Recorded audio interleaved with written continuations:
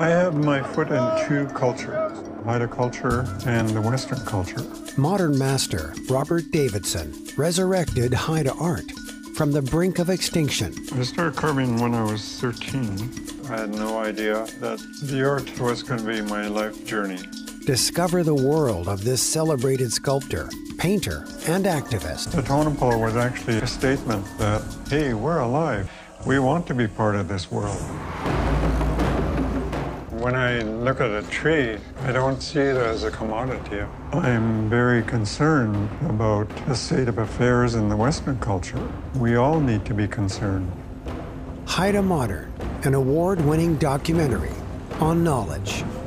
It's our privilege to continually expand on that knowledge.